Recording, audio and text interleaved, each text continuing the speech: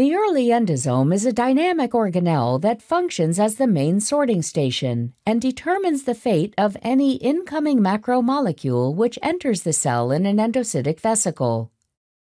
Transferrin, a protein that facilitates iron uptake in the cell, enters through this pathway. Transferrin binds